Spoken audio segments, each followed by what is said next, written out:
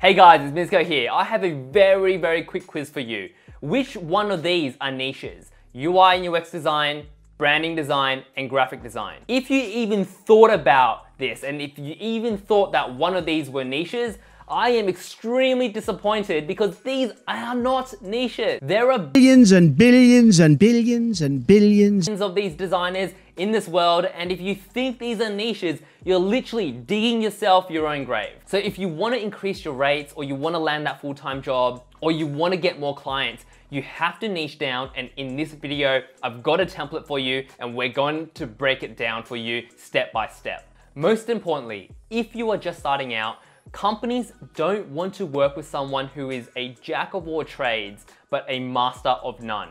Because if you think about it, the companies that you want to work with, the ones who are going to treat you well, the ones who actually care about you, these companies normally have a reasonable and very meaningful budget. Now, when they have a budget, they have choice, and they're not going to be extremely tight about how much they want to spend.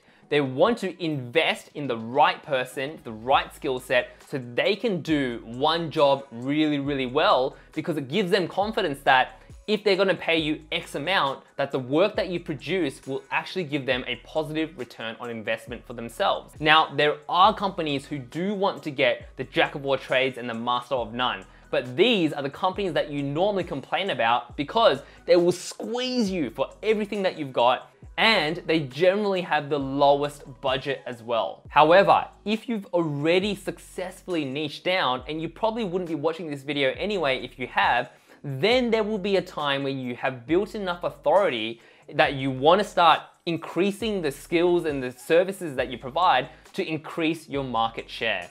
However, that is for another video. This video is about how you should niche down and why it is fundamentally so important for someone starting out and this is probably why you are watching this video. To get you started, I've already done all the hard work for you. I have a template and all you have to do is fill in the blanks. So here we go. All right guys, since I have already done the hard work for you, I would highly appreciate it if you gently smash that like button and let the YouTube algorithm know that you appreciate this video and you appreciate that Mizko has done the hard work for you already. So here is a very simple sentence that will help you niche down. So I am a, and you ins insert your discipline, specialized in a specific skill set for a specific customer type that are struggling with a business problem. So what are we doing here and what is an example? So here we go. I am a designer specialized in UI and UX design for early stage startups that are struggling with product validation and getting more customers.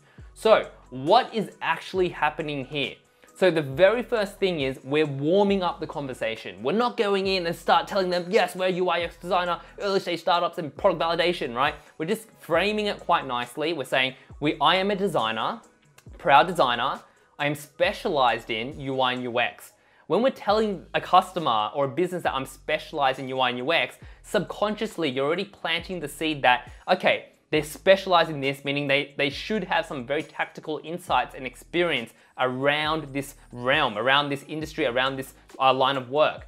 And then you're instilling more trust and you're instilling the fact that you can provide a lot of value because you are specialized in UI and UX and early stage startups if the client that you're working with or if the business that you're uh, going to to get a full-time role and they're a early stage startup, then you are targeting those pain points. You are targeting the audience very, very, very specifically with a very laser focus. And, and when you start to really align with your customer or the business that you're applying for, that is where the magic happens, where the stars align and they're just saying, wow, why haven't we hired you already? Because you're answering all the questions that they have. And then when you follow along saying that are struggling with product validation and getting more customers, you're not just saying, I'm, I'm focused on and UX with early stage startups. You're now laser focusing on the pain points that the business or the clients that you're looking to pitch to, those challenges that they actually face. So instead of just saying, I'm a UI and UX designer, or I am a graphic designer, or I am a branding designer, you need to niche down by getting more specific on what you stand for and the value that you can provide a client or a business. Now, one very good example is Gareth Wan's design portfolio. I actually reviewed his design portfolio a couple of weeks ago and you can check it up. The link is just up there.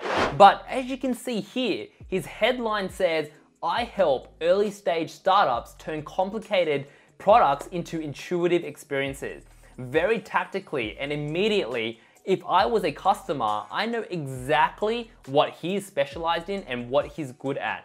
And this, when you start to utilize this and start to revolve your thinking around this, you will start to realize it will help elevate and bring a lot more focus in your design, in your line of work, in your portfolio, and the story becomes very, very consistent. Now, if you really, really want to set yourself apart from all the wannabes, then this is also something that you can follow on with to really strengthen your niche, but also your elevator pitch. So I am a designer specialized in UI and UX for early stage startups that are struggling with product validation and getting more customers. You should highly consider me because this is my passion.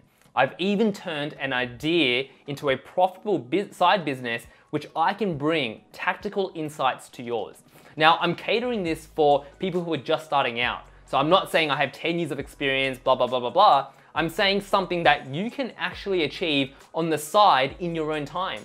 You can actually turn a little website into a profitable business. And if you wanna learn how I was able to do this and my journey to niching down, check the video above. I actually break down step by step of how I did it. So maybe you can use that as guidance to really start to strengthen your niche and really understand what do I stand for what is the business and value that I can provide to my clients or the business that I'm looking to get a job with and really get your foot in the door and use it as leverage.